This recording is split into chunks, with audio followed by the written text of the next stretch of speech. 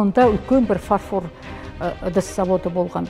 Ол кезде бұл жетпісінші жылдар бүкіл қазақстанда қапшағай фарфоры деген бір бренд болатын.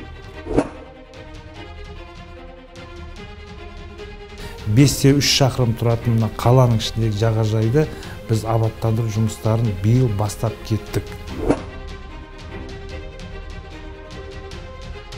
Мұхаммед ахметұлын халқымыз сол кездің өзінде де ұмытқан жоқ.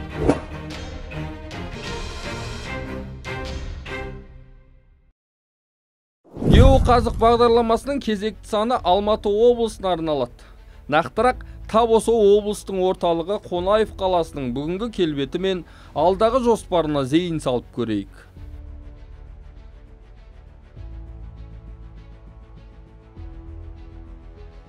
екі мың жиырма екінші жылдың үшінші мамырында президент қасым жомарт тоқаев алматы облысындағы қапшағай қаласын қонаев қаласы деп қайта атау туралы жарлыққа қол қойды. Осылайша жетісу өңірінде тарихи өзгеріс болып қапшағай қаласының атауы өзгерді. Біздің алматының өзі үлкен бір бір ел деуге болады. Бір мемлекеттің ішінде мемлекет болып қалды. Үлкен. Қазір өсіп барады кеңейіп барады. Бүкіл мына аудандарды да алып жатыр. Талғары бар наурызбай аудандар қосылып жатыр.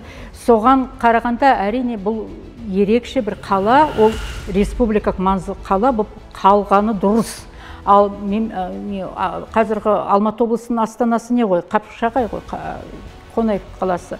Бұрынғы қапшағай қаласы. Ол енді не үшін керек? Ол себебі сол жер даму керек өсу керек өркею керек өркендеу керек. Ол үшін оған үлкен қаражат керек. Оны өзінің ерекше бір дәрежесі болу керек бір статус дейді ғой. Сол үшін бөлінген ол дұрыс та шығар. Себебі жалғыз алматы ғана жалғыз астана ғана дамымау керек қой. Бүкіл әр мысалы шетелде қалай онда аудандық облыстық қала деген жоқ қой ұғыным ұғым. Онда бәрі бір дәрежеде дамыған. Онда байқамайсың қайсы қайсы аудан қайсы үлкен қала қайсы кіші қала. Инфраструктурасы бәрі дамыған қала бірдей қала. Сондай дәрежеге жетеді деп ойлаймын қазақстан. Сол үшін жасалған бұған дейін мемлекет басшысы қасым жомарт тоқаев жолдауда алматы агломерациясына қатысты түйткілдер көп. Осы және басқа да жайттарды ескере отырып алматы облысын екіге бөлуді ұсынамын. Бұл өңірде жетісу және алматы облыстары құрылады. Алматы облысының орталығы қапшағайда болуы керек. Ал жетісу облысының орталығы талдықорғанда орналасады деп атап өткен болатын. Қазір шағын шаһар еліміздің біртуар азаматы мемлекет және қоғам қайраткері дінмұхаммед қонаевтың құрметіне орай аталды. Ол сол кездегі кеңес дәуіріндегі мықты тарихи тұлға көрнекті саяси мемлекет қайраткері.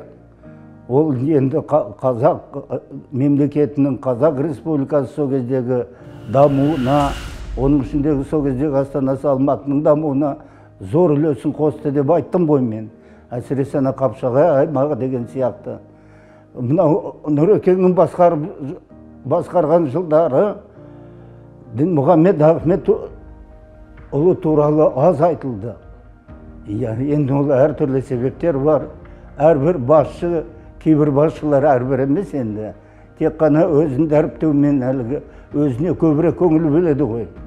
Тіптен қайтыс болып кеткен адамдардың өзі оған сондай қызғаныш сезімін тудырады. Менен оны артық халық жақсы көріп кете ме деген сияқты. Бірақ дінмұхаммед ахметұлын халқымыз сол кездің өзінде де ұмытқан жоқ. Иә айтып жүретін мен мысалы он жылдан астам жоғарғы оқу орындарында сабақ бердім. Қазақ қазақстан тарихынан сабақ бердім мен. Сонда студент жастардың өзі қонаев туралы талай сұрақ қоятын. Ол кісі қандай адам? Сіз көрдіңіз де білдіңіз бе ол кісінің қандай еңбектері бар деп. Сонда мен айтатын қарапайым адам сондай іскер адам иә ешқандай әлгі сыбайлас жемқорлыққа қатысы жоқ. Тек қана үш бөлмелі үйде тұратын алматы қаласында. Ал қазіргі замандағы әрбір бірінші басшы түгіл әкімдердің өзінің қаншама ғимараттары болады ғой тек қана сол өзі тұрған қалада емес басқа да қалаларда. Тіптен әлгі шетелдік әлгі аралдарға дейін бар ғимараттарын салады. Солай емес пе? Еншісін алып облыс орталығына айналған жаңа өңірдің тұрғындары қуанды. Өйткені бюджет көлемі ұлғайды. Жұмыс орындары ашылуы тиіс. Мысалы алматы облыстық әкімдігінің ақпараты мынадай. Биыл қаңтар сәуір айларында 148 миллиард теңге инвестиция тартылған. Бұл былтырғы осы кезеңмен салыстырғанда 120 пайызға артық. Ауыл шаруашылығының жалпы өнім көлемі 123 миллиард теңгеге жеткен. Ал өнеркәсіп 555 миллиард теңгенің өнімін өндірген екен. Дегенмен еңбекпен қамтылмағандар әлі де бар. Бір жылда облыста 19 мың адам жұмыссыз ретінде тіркелген екен. Дегенмен қонаев қаласында жұмыссыздық мәселесі біртіндеп оң шешімін тауып келеді. Қазіргі таңның өзінде сегіз мекеме бойынша үлкен үлкен жұмыстар басталып жатыр. Өндіріс орны бойынша. Яғни қазір тағы да мынау біздің өзіміздің туристік объектілеріміз бар ғой. Туризм саласымен туризм саласында жүрген жаңа туризм саласы бойынша қызмет көрсетіп жатқан туризм объектілері бар. Оның биылғы таңда бесеуі жаңадан іске қосылғалы тұр. Ол жерде де екі жарым миллиардтан астам жаңадан инвестиция құйылып қазіргі таңда төрт жүзден астам жаңа жұмыстарын ашқалы тұр. Сондықтан сондай сияқты әр салада өзінің жаңағы нелер көп бізде. Ашылып жатқан мекемелер де көп жұмыс орындары да бар. Хош осы ретте бүгінгі қонаев кешегі қапшағайдың құрылуына тоқталсақ. Қапшағай қаласы 1970 жылы құрылған. Қала туралы деректерге сүйенсек 1853 жылы топограф сонин өзен арқылы өткел ретінде және әскери бекініс құрылысын салуда осы жерді таңдапты. Күзет және қызмет көрсету мақсатында гарнизон құрылса кейіннен кентке айналған. Қапшағай шатқалында су электр станциясын салу идеясы сонау 1942 жылы басталған. Алматыға өте қауіп төндірген ол әрине төнген ол жер сілкінісі болды. Алматыда екі өте қауіпті жер сілкінісі болды 19 ғасырда. Ол кезде верный қаласы біреуі 1887 екіншісі 1910 жылы қала ол кезде жермен жексен болып қалды. Бұл қауіпті басу үшін да мысалы мына қапшағай су қоймасын құрған деген бір сондай бір не бар вариант дей ма сондай бір ой бар сондай пікір бар. Себебі су үлкен су қоймасы сол жер сілкінгенді басып отырады екен. Кәдімгідей былай тыныштандырып отырады екен. Екінші бір сондай бак деген үлкен алматы каналын салды ғой.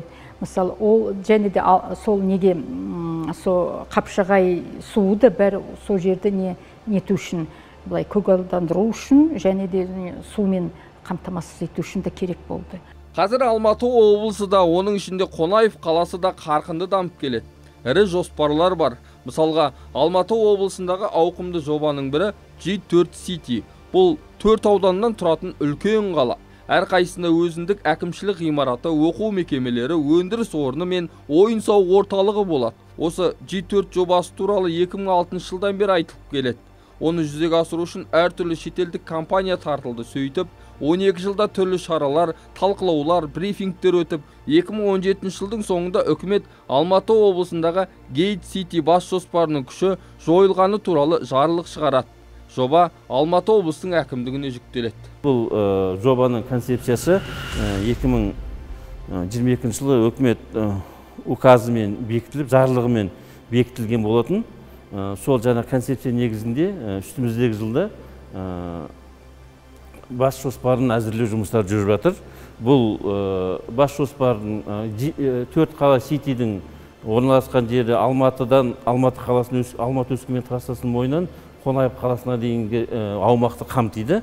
Бұл жерде көлемі 111 мың 800 мың шаршы метр, гектарды қамтып және болашақта жоспарлау несі уақыт мерзімі 2050 жылға дейін қамтып халық саны 2 миллион астамға жуықты жоспарланып отыр. Қазір қала қақпасы деп аударылатын гейт сити ауданында құрылыс қайта жанданыпты. Қалған үшеуіне үкімет инвестор іздеп әлек. 2006 жылдан бері айтылып келе жатқан жоба енді толығымен 2050 жылы аяқталады деп отыр.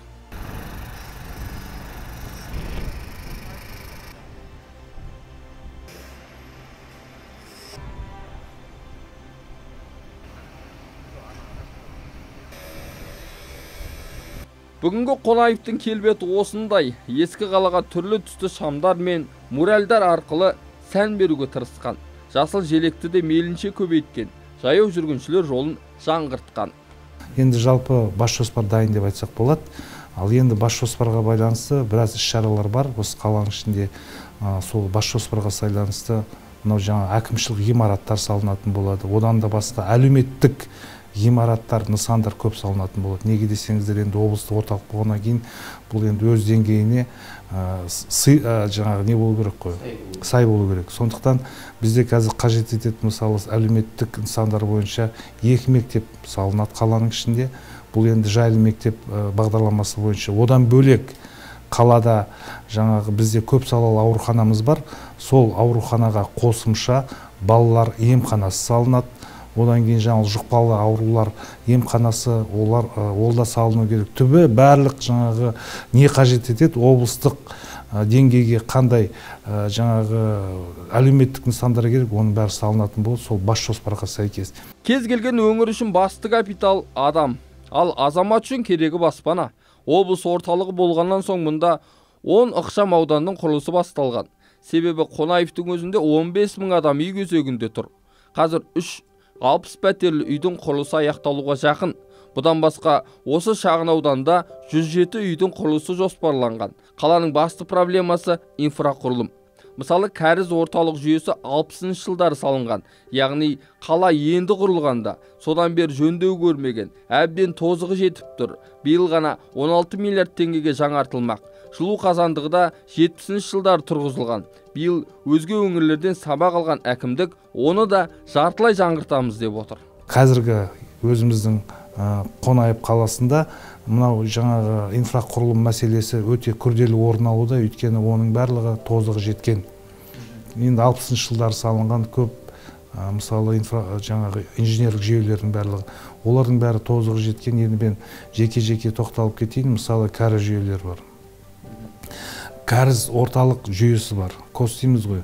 Олардың барлығы тозығы жеткен. Бүгінгі таңда жекемен, ә, мемлекеттік жекеменшік әріптестікпен мына орталық кәріз жүйесін біз толығымен жасайтын болып жатырмыз. Жалпы оның жаңа құны 16-4 миллиард болып тұр. Одан бөлек жаңағы кәріздік насостық станцияларымыз бар өзіміздің қаланың ішінде 16-сы бар. Оның 11-ның қазір толығымен тозығы жеткен. Оның жобалық сметалық құжаттарын түгел біз дайындап сараптамадан өткізіп қазіргі таңда оған жаңағы республикадан қаражат бөліп енді ол жұмыстарды біз бастағалы отырмыз. Одан да бөлек мысалы жаңағы су жүйелері бар одан кейін жылу жүйелері бар. Жылу жүйелерінде біз бүгінгі таңда қазір күрделі жөндеу өткізіп оны да жасауға дайын тұрмыз. Оның да жобалық сметалық құжаттарының бүкіл барлығы жылу жүйелері бойынша дайын. Қазіргі таңда оған қаражат бөлінді. Егер мына қаланы алатын болсақ бізде магистралдық жаңағы трубаларымыз жаңағы жүйелеріміз екі көшеде болатын еді. Бұл енді қонаев көшесі мен сейфуллина көшесі.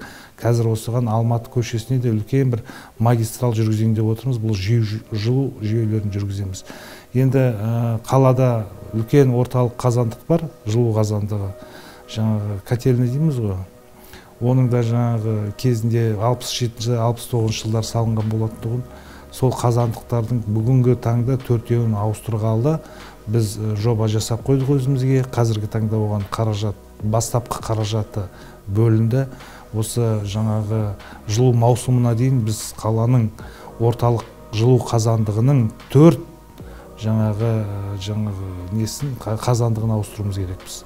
Биыл күзде 900 орындық жаңа мектептің құрылысы аяқталуы керек. Алдағы екі жылда тағы екі білім ордасы салынады дейді. Балалар емханасы мен жұқпалы ауруханалар емханасы да бой көтереді деген жоспары бар. Ең бастысы қаланың бас жоспары түзілуде. Біздің қонаев қаласы алматы қаласынан шыққанда алматы өскемен тас жолының бойында орналасқан орналасқан. Осы қазіргі таңда өкімет үкіметтің указы сәйкес қапшағай қаласы қонаев қаласына өзгеріп және алматы облысы екіге бөлініп қонаев қаласы алматы облысының орталығы болып белгіленді. Енді артырақ айтып кетсек бұрынғы қапшағай қаласы қонаев қаласының қолданыстағы бас жоспары ол 2007 жылы әзірленіп 2010 жылы үкімет қаулысымен бекітілген. Қазіргі таңда қолданыстағы бас жоспардың аумағы тоғыз мың алты жүз гектар жер телімін қамтиды. Және бұл 2025 жылға дейін әзірленген жобалау уақыты мерзімі халық саны 130-ға дейін жоспарланған. Қазіргі таңда осы қонаев қаласының халқының уже облыстың деңгейінің өзгеруіне байланысты және территориясының ұлғаюына байланысты әкімшілік облыс әкімшілігі тарапынан осындай шешім қабылданды. Және жаңа бас жоспар қалаға керектігін қажеттігін ұғына отырып. Жалпы қонаевтың тіршілігі жазда қызады себебі жағажайына келушілер көп. Былтыр қапшағай бір маусымда бір миллионнан астам турист тартыпты. Биыл бұл межені 200 мыңға арттырсақ деген жоспары бар екен. Қалаға үлкен бір көрік беріп тұрған біз өзіміздің мынау жағажайымыз енді су қоймамыздың жаңағы жалпы орны да маңызы да өте үлкен зор. Өйткені сол жағажайды бізде абаттандыру керек болып тұр. Жақын арада біз сол жағажайдың бойында отырған жаңағы бизнес өкілдері бар. Жаңағы солардың бәрімен келісім шарт жүргізіп олармен келісімсөз жүргізіп жатырмыз. Бесте үш шақырым тұратын мына қаланың ішіндегі жағажайды біз абаттандыру жұмыстарын биыл бастап кеттік. Ол енді қазіргі таңда мынау земляная работа дейді ғой. Соның барлығын жаңағы жер бұрғылау болмаса жерді орналастыру жұмыстары жүріп жатыр. Келешекте осы қалалық жағажайда үлкен бір іс шаралар өткізетін болатын бір жағажай жаңағы бүкіл айтады ғой жаңағы сай осы орталыққа облыс орталығына сай мынау адамдар келіп демалатын туристік объект болады. Өйткені ол жерде велодорожка болады. Содан кейін жаяу жүретін жаңа өз алдына жолақ не болады жол болады. Сондықтан ол жерде бизнес өкілдері де отыратын болады және де толығымен абаттандырылады. Абаттандырғанда жаңағы ағаш отырғызамыз басқа да жаңағы өсімдіктерді отырғызып жаңағы енді көгалдандырып жағажайдың бәрін қалпына келтіреміз. Қонаевтың кірісі тек жағажайдан емес мұнда алпысқа жуық құрылыс материал өндіріледі. Қала маңындағы шеңгелді ауылдық округі егін балық шаруашылығына ден қойған. Шаһарда бір жылда 1200-ден астам жаңа жұмыс орны ашылған. Жалпы бұл қалада қашаннан өндіріс бар? Негізінде қапшағай өндірістік бір орталық болу керек еді. Сонда үлкен бір фарфор ыдыс заводы болған. Ол кезде бұл жетпісінші жылдар бүкіл қазақстанда қапшағай фарфоры деген бір бренд болатын. Кәдімгідей өз ұлттық нақыштағы біз ыдыстарды шығаратын кәдімгі сондай бір нақышпен шығаратын қапшағай сондай фарфор заводы болатын.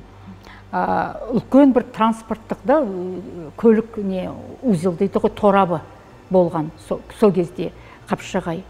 Сондықтан оның маңызы бөлек оның ерекше маңызы бар. Қазір үлкен бір сондай орталыққа ауысады солай өседі өркейеді деп сенім бар. Себебі оған үлкен қаражат бөлінген үлкен облыстың орталығы болып отыр.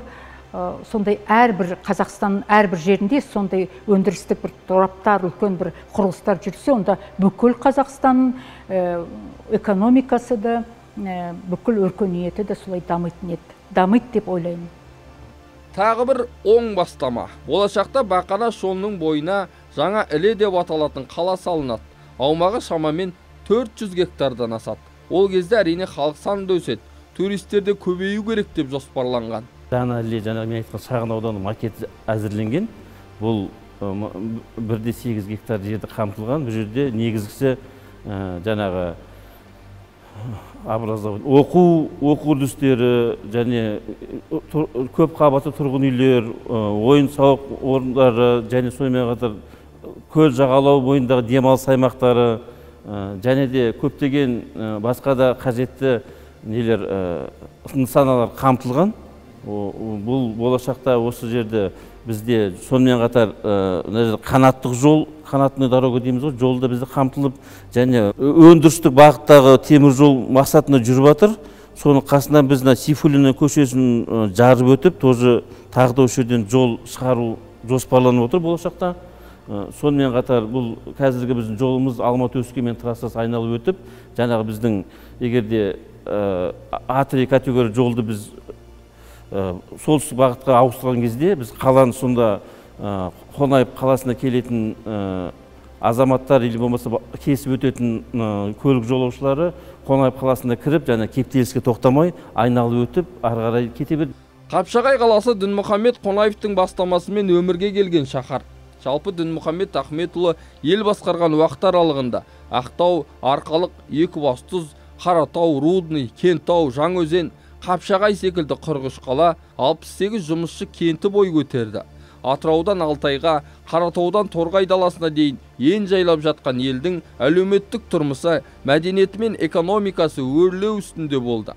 Нақты цифрларға жүгінсек 1955 жылдан 1985 жылдар аралығында қазақстан өнеркәсіп өндірісінің көлемі 8 бүтін оннан 9 есе ауыл шаруашылығы 6 бүтін оннан 2 есе құрылыс 8 есеге жуық өсті. Қонаевтың ұсынысымен сол жаңа қала құрылды деген не бар ғой?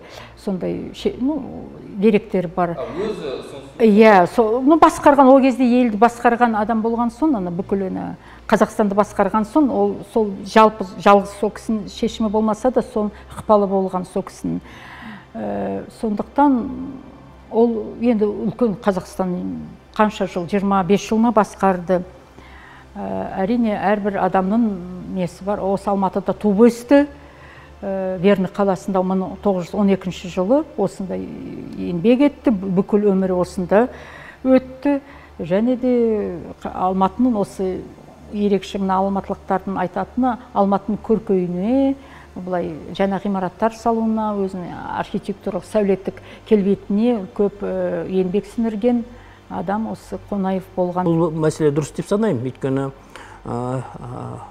мысалы мынау қазіргі абай облысын айтсақ мына әсіресе оның орталық семей қаласын айтсақ мынау ол өзінің статусын жоғалтқаннан кейін қала шыны керек өте құлдырап кетті оның көп экологиялық экономикалық мәселелер туындады. Қаржылық мәселенің бәрі өскеменде шешілген шешілгендіктен сондықтан қаржы да сол бағытта жұмыс істеді. Ал мынау семей басқа сол, сол маңайындағы өңірлерге қаржы жетпей отырған. Сондықтан бұл жаңа экономикалық орталықтар құрылған өте дұрыс деп ойлаймын. Енді бұл бағытқа дұрыс деме беріп отырса қаржы беріп отырса бұны дамыту жақсы дұрыс. Бірақ біздің бүкіл бәр жерімізде бірақ проблема бар үлкен проблема бар. Біздің қай қаланың әкімі болсын басшысы болсын аудан басшысы болсын бәрі халыққа жұмыс істеу мәселесін емес өзінен жоғарғы отырған адамдарға ұнау мәселесін ойланады. Мемлекет және қоғам қайраткерінің аты берілген қонаев қаласы тұтас алматы облысының дамуына тың серпін берері сөзсіз қорыта айтқанда. Қазақтың оңтүстігіндегі алтын қазығының бірі алматы облысы һәм қонаев қаласы.